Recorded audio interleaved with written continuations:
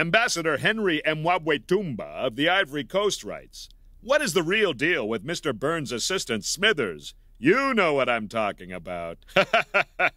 of course we do.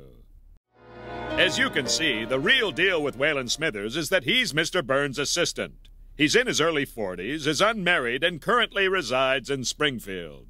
Thanks for writing. We'll be right back.